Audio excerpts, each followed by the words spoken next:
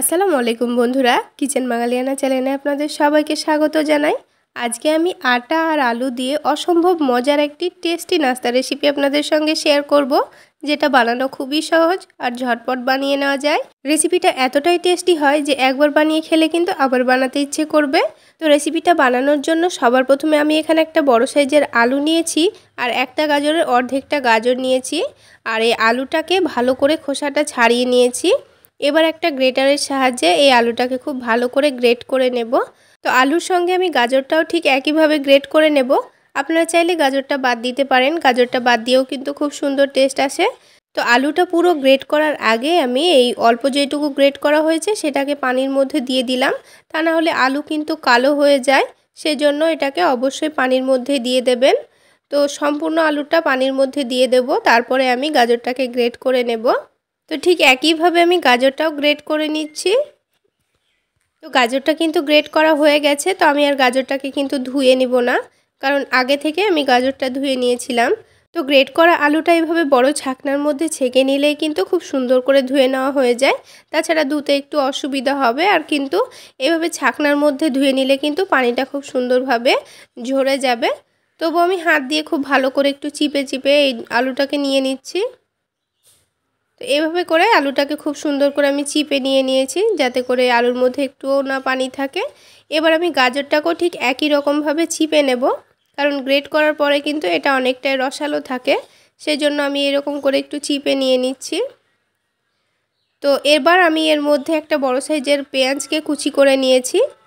তারপরে স্বাদ মতো লবণ দিয়ে দিলাম। এবার হাত দিয়ে লবণটাকে সব কিছুর সঙ্গে খুব ভালো করে মাখিয়ে নিচ্ছি। আর এভাবে মাখিয়ে নিয়ে কিছুক্ষণের জন্য এটাকে আমি রেস্টে রেখে দেব। তাহলে এই আলুটা, গাজরটা খুব সুন্দরভাবে নরম হয়ে যাবে। তো এটাকে ঢেকে রেখে কিছুক্ষণের জন্য আমি রেস্টে রেখে দিচ্ছি। যতক্ষণে এই আটার ডোটা তৈরি হবে, ততক্ষণ কিন্তু আমি রেস্টে রেখে দেব। খুব বেশি রেস্টে রাখার দরকার নেই। তো এবার আমি এখানে এক কাপ পরিমাণ আটা নিয়েছি। তার সাথে সামান্য পরিমাণ লবণ দিয়ে অল্প অল্প করে পানি দিয়ে একটা ডো তৈরি করে নেব। আর এই ডোটা তৈরি করার সময় কিন্তু অল্প অল্প করে পানি দিয়ে তৈরি করে নিতে হবে। একেবারে পানি দিয়ে দিলে আবার নরম হয়ে যাওয়ার সম্ভাবনা থাকতে পারে। তো ঠিক আমরা যেমন বাড়িতে রুটি তৈরি করার জন্য আটা মেখে থাকি, ঠিক সেইভাবেই এখানে আটাটা মেখে নিতে হবে। তো এটাকেও আমি কিছুক্ষণের জন্য রেস্টে রেখে দিচ্ছি। এবার এই আলুর পুরটা আমি রেডি করে নেব। তো লবণ দেওয়ার কারণে কিন্তু দেখুন, এটাকে আমি চিপে নেব। এটার মধ্যে থেকে কিন্তু অনেকটাই পানি বেরিয়ে আসবে। তো এটা কিন্তু আগের থেকে অনেকটাই নরম হয়ে গেছে। তো আলুটা পুরো চিপে নিয়েছি। এবার আমি এর মধ্যে কিছু মশলা দিয়ে দেব। তো যেহেতু আমি স্বাদ মতো লবণ দিয়েছিলাম, সেজন্য লবণটা বাদ দিয়ে বাকি মশলাগুলো দিয়ে দিচ্ছি। তো ঝালের জন্য আমি এখানে কাঁচামরিচ কুচি দিয়েছি, সামান্য পরিমাণ দিয়েছি গোলমরিচ গুঁড়ো, আর দিয়ে দিয়েছি চিলি ফ্লেক্স। এবার সব কিছুকে খুব ভালো করে মিশিয়ে এক সাইডে রেখে দিচ্ছি। এবার এই আটার ডোটাকে আবারও আমি রেডি করে নেব। তো দুটো লেচি কেটে নিয়েছি। তো এই লেচি দুটোকে হাত দিয়ে ঘুরিয়ে ঘুরিয়ে সফট বল তৈরি করে নিয়ে এটাকে বড় করে বেলে নিতে হবে। তো রুটিটা বেলে নেওয়ার জন্য আমি একটু ময়দা ছিটিয়ে দিয়েছি। এবার রুটিটাকে বড় করে বেলে নেব। তো একটা রুটি আমার বেলা হয়ে গেল। তো এভাবে আরও একটা রুটি আমি বেলে নেব। তো এটাকে এক সাইডে রেখে বড় করে আরও একটা রুটি বেলে নিতে হবে। তো দুটো রুটিকেই কিন্তু আমি একই সমান করে বেলে নিয়েছি। এবার এই রুটির ওপর টমেটো সস লাগিয়ে দেব। তো পুরো রুটিতে খুব ভালো করে টমেটো সসটা চারিদিকে লাগিয়ে দিচ্ছি। এভাবে টমেটো সসটা লাগিয়ে দিলে কিন্তু এই নাস্তাগুলো খেতে অনেকটাই টেস্টি হয়। তো এবার যে পুরটা আমি রেডি করে রেখেছিলাম, সেটা এর উপর থেকে দিয়ে দিচ্ছি। আলুর এই পুরো পুরটাই কিন্তু আমি এখানে দিয়ে দেব। তো একটু হাত দিয়ে ছড়িয়ে ছড়িয়ে চারিদিকে দিয়ে দিচ্ছি। তো তারপর আবারও আমি এখানে টমেটো সস, ওপর থেকে একটু একটু করে মিশিয়ে নিচ্ছি। তো এইভাবে একটু টমেটো সস দিলে কিন্তু খেতে খুবই টেস্টি হয়। তাছাড়া আপনাদের হাতের কাছে যদি চাট মশলা থাকে, সেটা অল্প করে ছিটিয়ে দিতে পারেন। সেক্ষেত্রেও কিন্তু এটা অনেকটাই টেস্টি হবে। তো এবার কিন্তু আমি যে আরও একটা রুটি বানিয়ে রেখেছিলাম, সেটা এর ওপরে দিয়ে দিলাম। তো হাত দিয়ে চারিদিককে খুব ভালো করে চেপে বন্ধ করে দিতে হবে, যেন আলুর পুরটা চারিদিক থেকে না বেরিয়ে যায়। তো রুটির চারিদিকটা হাত দিয়ে খুব ভালো করে চেপে বন্ধ করে দিয়েছি। এবারে রুটিটাকে আমাদের ভাপিয়ে নিতে হবে। সেই জন্য এরকম একটা ফুটো ফুটো থালা নিয়েছি। তার মধ্যে চারিদিকে খুব ভালো করে একটু তেল মাখিয়ে নিলাম। তাহলে রুটিটা যখন ভাপিয়ে নেব, তারপরে কিন্তু খুব সুন্দরভাবে উঠে আসবে। তো এবার রুটিটাকে আমি এখানে সুন্দরভাবে রেখে দিচ্ছি। তো এবার আমি এটাকে ভাপিয়ে নেব। তো আগে থেকে আমি একটা হাঁড়ির মধ্যে পানি গরম করতে বসিয়ে রেখেছিলাম। পানিটা খুব ভালোভাবে ফুটে গেছে। এবার এই প্লেটটা আমি এখানে রেখে দিয়ে এটাকে খুব ভালো করে ঢেকে দেব। তো একটা ঢাকনা দিয়ে ঢেকে দিয়েছি আর যে ফুটো আছে সেটা আমি একটা কাগজ দিয়ে বন্ধ করে দেব। তো এভাবে করেই এটাকে আমি পনেরো মিনিট খুব সুন্দর করে ভাপিয়ে নেব। তো তার মধ্যে আমি এখানে এক কাপ মতো ময়দা নিয়ে নিচ্ছি।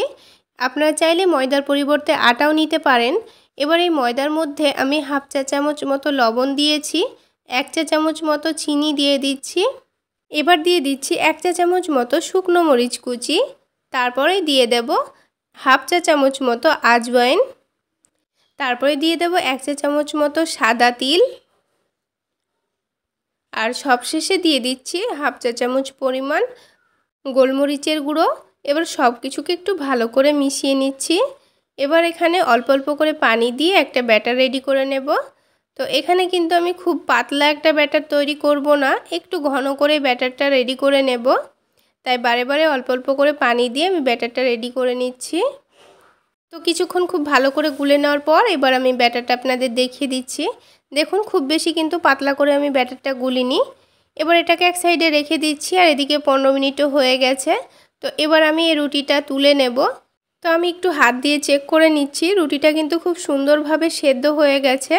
তো এবার রুটিটা ঠান্ডা হয়ে যাওয়ার পর আমি একটা প্লেটে এটাকে নামিয়ে নিচ্ছি। তো এটাকে এইভাবে করে একটু ঠোকা মারলে কিন্তু খুব সুন্দরভাবে প্লেটের মধ্যে পড়ে যাবে। তো দেখো প্লেটের মধ্যে একটু তেল মাখিয়ে নেওয়ার জন্য খুব সুন্দরভাবে কিন্তু এটা নিচে থেকে পড়ে গেল। তো এবার এটাকে আমাদের কেটে নিতে হবে। তো এবার একটা ছুরি দিয়ে এটাকে ছোট ছোট পিস করে কেটে নিচ্ছি। তো কাটা হয়ে গেলে এগুলোকে আমি ভেজে নেব। তো ছোট ছোট পিস করে আমার কাটা হয়ে গেছে। চাইলে আপনারা এই রকমভাবেও সস দিয়ে এটা খেতে পারেন। তো এই নাস্তাগুলোকে আরও একটু মুখরোচক তৈরি করার জন্য আমি এগুলোকে ভেজে নেব। তো এই নাস্তাটা যখন এই ময়দার ব্যাটারের মধ্যে ডুবাবো, তখন কিন্তু এই ওপরের দিকটাকে এটাকে ধরে রাখতে হবে। তা না হলে ভেতরের আলুটা কিন্তু বাইরে বেরিয়ে যেতে পারে। তো এবার এটাকে গরম তেলের মধ্যে ছেড়ে দেব। তো সবগুলো নাস্তা ঠিক একই রকম করে আমি ভেজে নেব। আর নাস্তাগুলো তেলে দেওয়ার সময় কিন্তু তেলটা খুব ভালোভাবে গরম করে নিতে হবে। তো এখানে দুটো থেকে তিনটে মতো নাস্তা আমার ভেজে নেওয়া হবে। তো এখানে আমি তিনটে মতো নাস্তা ভেজে নেব। তো একটু সরিয়ে দিয়ে আমি আরও একটা নাস্তা এখানে দিয়ে দিচ্ছি। তো যখন এগুলো দেওয়া হয়ে যাবে তখন গ্যাসের ফ্লেমটা আমি মিডিয়ামে রেখে এগুলোকে ভেজে নেব। তো একটু মিডিয়ামে রেখে ভেজে নিলে কিন্তু এই নাস্তাগুলো অনেকটাই ক্রিস্পি হয় আর অনেকটাই মুচমুচে হয় ওপর থেকে। তাহলে বন্ধুরা, সন্ধেবেলায় কিছু খেতে ইচ্ছে করলে ঘরে আটা আর আলু থাকলেই ঝটপট আপনারা এই মুখরোচক নাস্তাটি বানিয়ে নিতে পারবেন। তো বন্ধুরা, আজকের আমার এই আটা আলুর নাস্তাটা আপনাদের কেমন লাগল অবশ্যই কমেন্ট সেকশানে জানাতে ভুলবেন না। আর ভালো লাগলে একটা লাইক শেয়ার করে দেবেন। সেই সাথে আমার চ্যানেলে নতুন হয়ে থাকলে চ্যানেলটি সাবস্ক্রাইব করে পাশে থাকা বেল আইকনে একটা প্রেস দিয়ে দেবেন। এতে করে আমি যখনই কোনো নতুন ভিডিও আপলোড দিব, সবার আগে নোটিফিকেশান পেয়ে যাবেন। আর বন্ধুরা, আমার এই সহজ রেসিপিগুলো আমার ফেসবুক পেজ থেকে দেখে থাকলে পেজটিতে লাইক দিয়ে ফলো করে রাখবেন। তো বন্ধুরা, কিছুক্ষণ এটাকে উল্টে পাল্টে ভেজে নেওয়ার পর খুব সুন্দরভাবে কিন্তু ভাজা হয়ে গেছে। তো এবার আমি এগুলোকে তুলে নিচ্ছি আর বাকিগুলো ঠিক একই রকমভাবে আমি ভেজে নেব। তো বন্ধুরা, সবগুলো নাস্তা কিন্তু আমার ভেজে নেওয়া হয়ে গেছে। এবার এটাকে টমেটো সসের সঙ্গে পরিবেশন করে নিন। একটা নাস্তা আমি আপনাদের ভেঙে দেখিয়ে দিচ্ছি, দেখুন। তাহলে বন্ধুরা, আজকে এই পর্যন্তই। সকলে অনেক বেশি ভালো থাকবেন, সুস্থ থাকবেন। দেখা হচ্ছে আরও একটি নতুন রেসিপি নিয়ে নেক্সট এপিসোডে